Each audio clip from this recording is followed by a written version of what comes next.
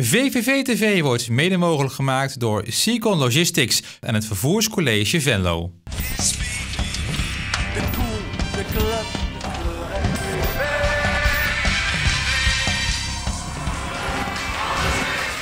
De jeugdopleiding van VVV is verhuisd. Zometeen een rondleiding door het nieuwe onderkomen. We geven VIP-kaarten weg voor de wedstrijd tegen Herenveen.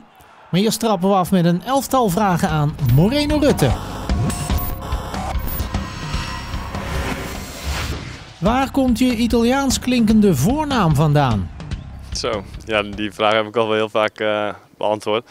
Maar uh, ja, die heeft mijn moeder eigenlijk uh, verzonnen, of ja, niet verzonnen. Die had gezien tijdens het wielrennen. Mijn vader was, was wielrenner en die keek altijd, altijd wielrennen. Dus toen zag ze Moreno Argentine voorbij komen en vond ze wel een mooie naam, dus vandaar. Waarom ben je gaan voetballen en hoe oud was je toen? Ik was pas zeven jaar oud, dus uh, vrij laat. Als je ziet, sommige jongens beginnen al op hun vierde. Maar waarom? Ja, de, al mijn vrienden die, uh, die gingen op voetbal en uh, we waren altijd buiten ook aan het voetballen. Op school en ook na schooltijd. Dus ja, ik vroeg aan mijn ouders, mag ik dan eindelijk op voetbal en dat mocht gelukkig. Ben je altijd verdediger geweest? Ja, to toevallig wel. Ik ja, was bij, de, bij de amateurs ook al verdediger. Toen stond ik vaak links omdat ik kleins af aan al redelijk uh, met twee benen, twee benen voetbalde eigenlijk. Dus toen stond ik eigenlijk altijd links achterin omdat we geen linkspoot hadden. Dus uh, ja, eigenlijk altijd verdediger geweest. Wat zou je nog willen verbeteren aan jezelf als voetballer? Uh, ik denk uh, wat harder worden in de duels. Ik denk dat ik daar wel een stap in kan maken. En voor de rest, ja, ik denk het verdedigende aspect dat dat wel iets beter kan. Wat is je mooiste moment als voetballer tot nu toe?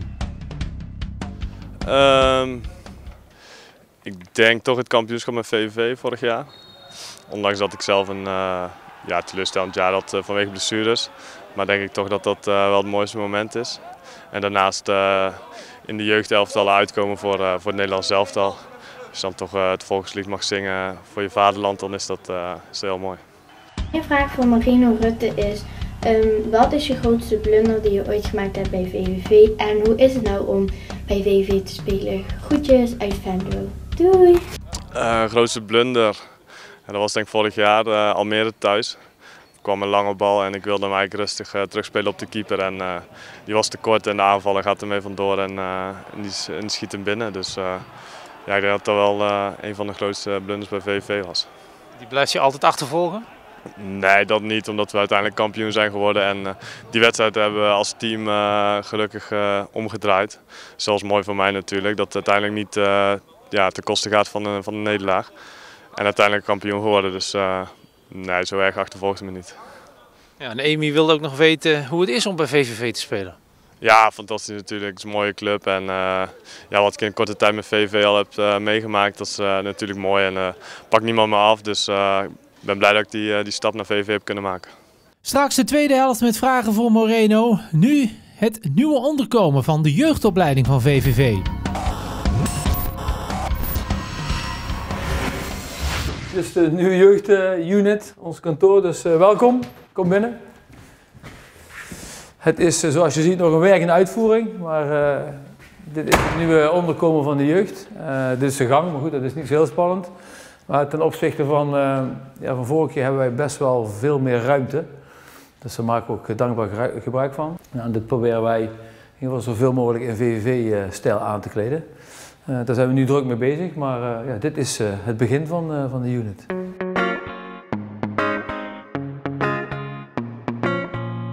Dit is het domein van, van de jeugdtrainers. Dus we hopen ook dat ze aan het werk zijn uiteraard. Nou, dit is eigenlijk de, de, openbare ruimte voor de trainer met flex, uh, flexplekken om te werken. We hebben wel wat vaste kantoren. Maar als je de, de oude situatie kent, ja, dan is dit wel een verbetering met betrekking tot ruimte. We hebben veel meer ruimte. We hebben veel meer plekken om te werken en uh, we kunnen ook allemaal splitsen. De volledige jeugdopleiding van VVV is onlangs verhuisd naar het sportpark van Vos aan de Merelweg.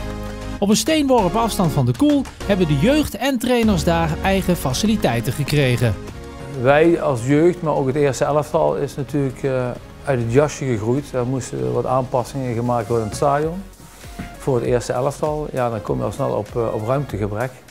Nou, dan uh, is het goed om te kijken waar je daar elkaar aan kunt helpen. Nou, wij zaten ook met ruimtegebrek, dus ja, dan is dit de meest logische oplossing om, om te komen tot een, een, een goede ja, goede indeling van de ruimtes. Kijk, eh, je moet de voor- en nadelen afwegen. De voordeel is dat we, ja goed, je kijkt naar buiten, je zit midden op het complex. Uh, daar waar het moet gebeuren, hè, op het veld. Nou, we zitten meter van het veld en we hebben hier voldoende ruimte om, om te trainen. Die hadden we al, maar nu zit het er middenop. We hebben meer ruimte voor de trainers. We hebben onze eigen ruimtes voor, voor de jeugd, voor de jeugdspelers en ook de trainers. En datgene wat we functioneel konden in het stadion, dat kan hier ook. Nadeel is dat de afstand naar het stadion wat kleiner wordt. Maar volgens mij is dat een fysieke afstand en ja, dat, dat moet je door goed overleg en een bepaalde structuur kun je dat uh, goed ondervangen.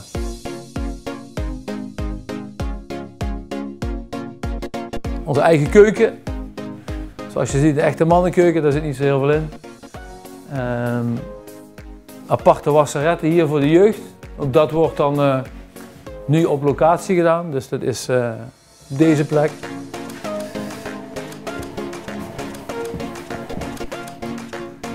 Nou, dit is de, de, medische ruimte. Nou, ook uh, zoals net gezegd, werk en uitvoering. Er wordt, nog druk geschilderd en uh, worden dingen aangepakt en aangepast. En dus niet alle apparatuur is er. Dus we hebben een jeugdverzorger, we hebben een fysiotherapeut. En die zorgen voor, voor invulling van, van dit gedeelte. Of buiten, want ook wij doen revalidatie en, en fitness buiten. Ja, nogmaals, ja, we zitten echt midden op het park. En als je kijkt naar het overzicht en toegankelijkheid die we hier hebben, ja, is dat echt een, uh, een vooruitgang. Ja. De buitenkant van de units wordt later ook nog opgeknapt en krijgt uiteraard een VVV-look. Volgens Bongaerts is deze tijdelijke huisvesting voldoende voor 2 à 3 jaar. Daarna moet de club stappen zetten naar een professionelere vestiging van de jeugd. Het huidige complex wordt uiteraard gedeeld met Venlose Boys en Vos, en als dan Bongaards ligt, kunnen meer partijen straks gebruik maken van deze faciliteiten. Met Venlose Boys en Vos hebben we echt een goede samenwerking. Echt een grote complimenten naar die twee clubs. En met Vos wat intensiever omdat we daar de kantine delen met ze. En met Vos de, de velden. Maar ook op ander vlak werken wij goed samen met die clubs. En, en ja, dat, dat hopelijk is dat ook wel een, een signaal naar straks naar de gemeente, maar ook naar de, naar de clubs om die samenwerking uit te breiden. En, en wellicht, en ik weet dat het toekomstmuziek is, om te kijken of je nog meer kan samenwerken, maar ook met andere takken van sport. Of het nu handbal is, of uh, hockey, of uh, honkbal, of de scholen. Ja, er liggen voldoende mogelijkheden, alleen ja, dat, het voortraject is, is, is ingezet. Maar de samenwerking die we nu hebben met, met Boys en Vos is echt, echt goed. En daar kunnen wij echt ook op, uh, op bouwen om, uh, om te kijken hoe we dat uh, nog beter kunnen wegzetten. Terug naar een elftal vragen aan Moreno Rutte. Het is tijd voor de tweede helft.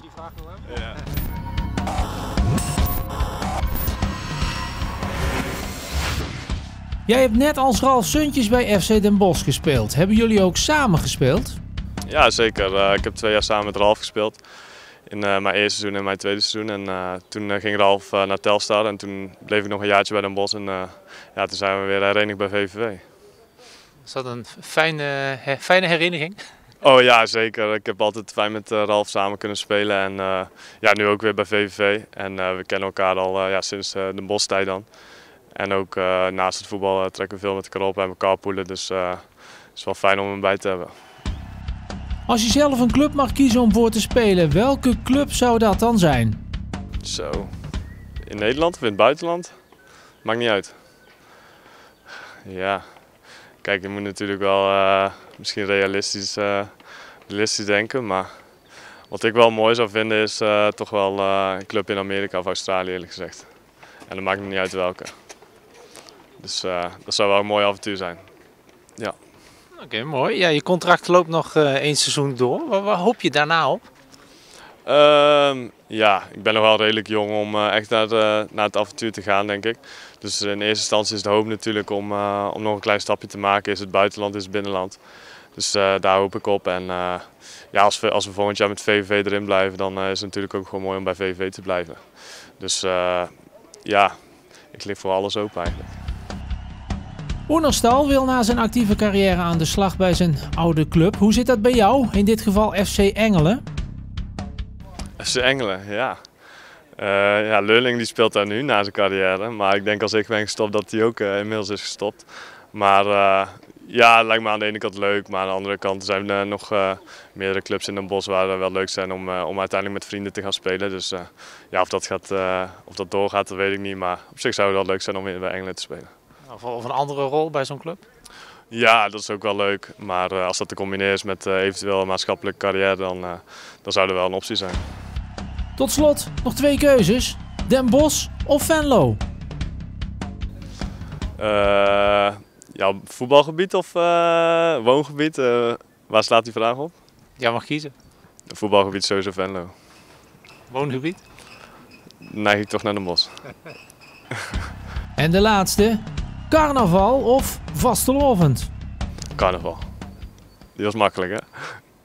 ja, dat was een snelle. Nee, ik moet zeggen, als je bent opgegroeid in Brabant, dan uh, vier je heel anders carnaval dan, uh, dan dat ze in Venlo doen. Dus uh, het ligt mij meer dan, dan vastelavond.